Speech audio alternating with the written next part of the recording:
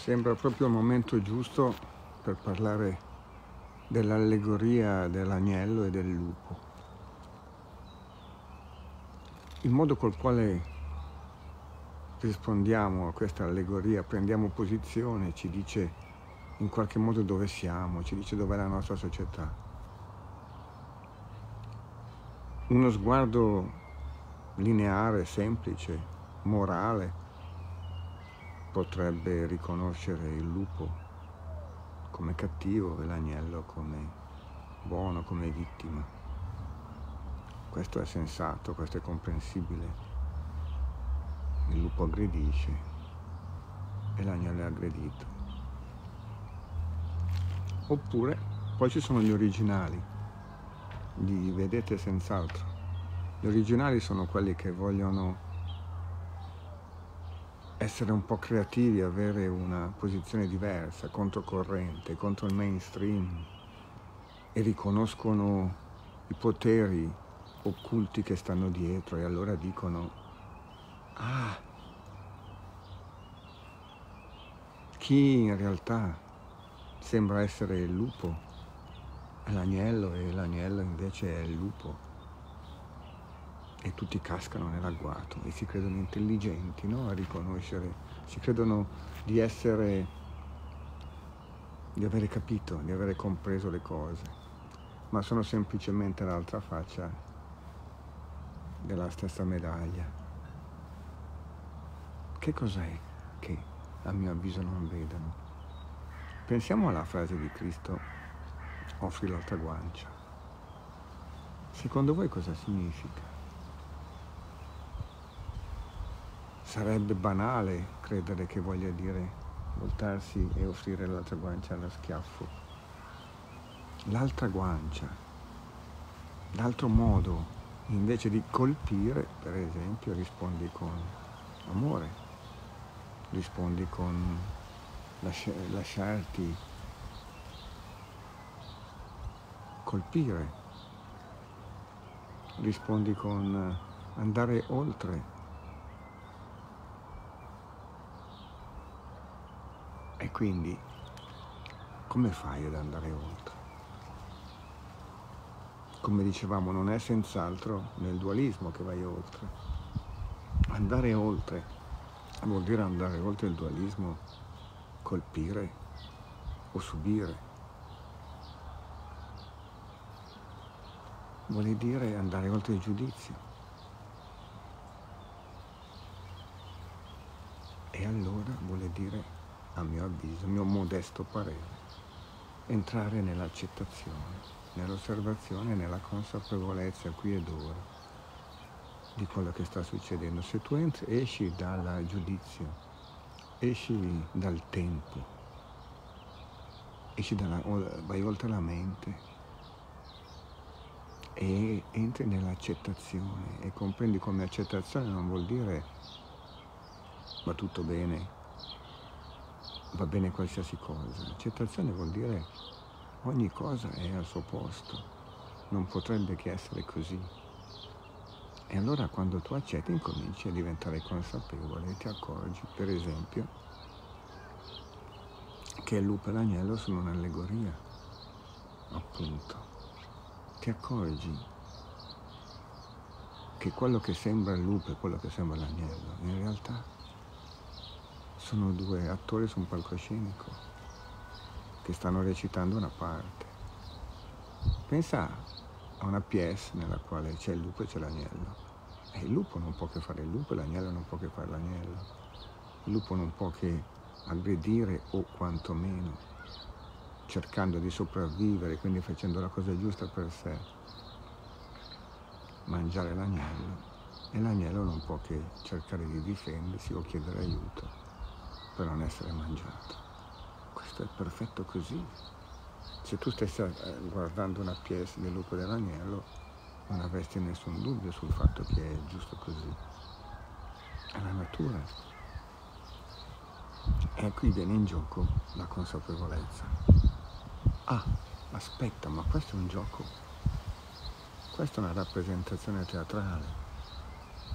Questa è una rappresentazione di qualche cosa che c'è dietro le quinte. c'è un regista, c'è un copione e soprattutto poi dopo quando ti togli la maschera dell'agnello e la maschera del lupo sei un essere umano. Quindi attraverso l'accettazione, l'osservazione e la consapevolezza noi possiamo accorgerci di quelli che sono in psicologia transpersonale si chiamano gli archetipi. Qual è il gioco archetipico che c'è dietro? E possiamo accorgerci che nel momento in cui l'archetipo passa di lì, il lupo passa di lì, non può che fare il lupo, e l'agnello passa di lì, non può che fare l'agnello. E allora, cosa vuol dire questo? Facciamo la pace. Chi non vuole la pace? Io credo che non ci sia nessuno al mondo che non desideri la pace. Ma il mondo è costantemente in guerra da sempre. Quindi ci sono diversi modi di ritenere come cosa voglia dire fare la pace.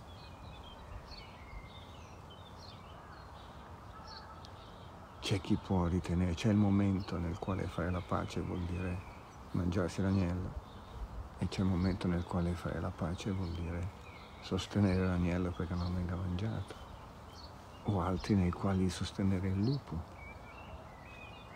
o altri nel quale cercare una possibilità perché lupo e l'agnello convivano.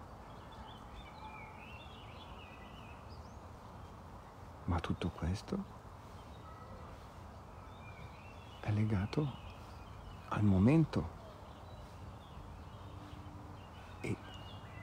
se manca l'accettazione, soprattutto se manca l'amore, qualche cosa d'altro che tutti citano, dobbiamo essere in pace e amarci, va bene, ma c'è qualcuno secondo voi che non vuole essere in pace ed amarsi?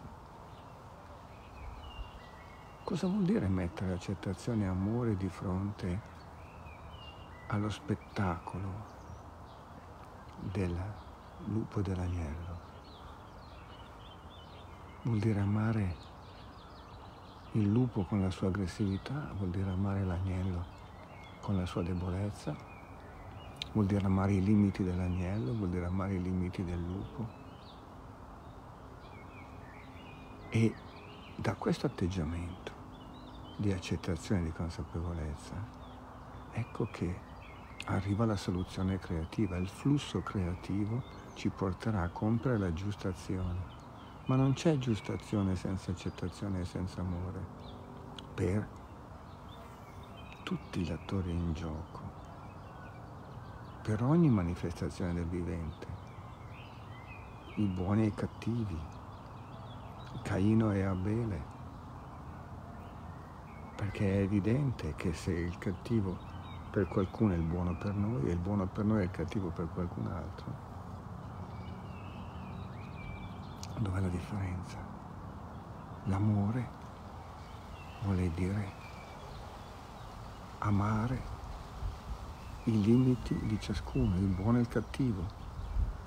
E allora noi ci abbiamo provato ad accettare senza giudizio e amare i limiti del buono e del cattivo e le qualità del buono e del cattivo. Io credo che a questo punto, così facendo,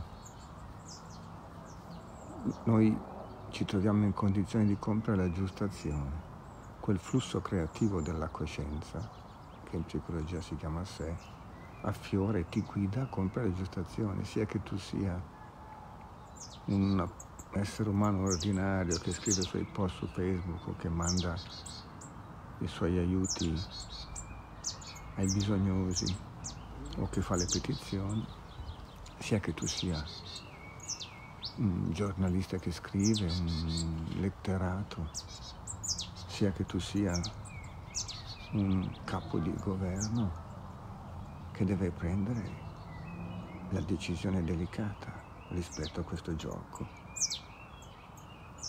Quindi proviamo a introdurre la medicina dell'accettazione, dell'osservazione e della consapevolezza. Forse sarà più facile guardare con amore ognuna delle lo spettacolo che è in gioco, vedere l'archetipo che sta agendo dietro, vedere l'essenza vera e quindi compiere la giusta azione, che nessuno ci può dire prima. Qui ed ora, nel presente, con accettazione e amore possiamo trovare la giusta azione.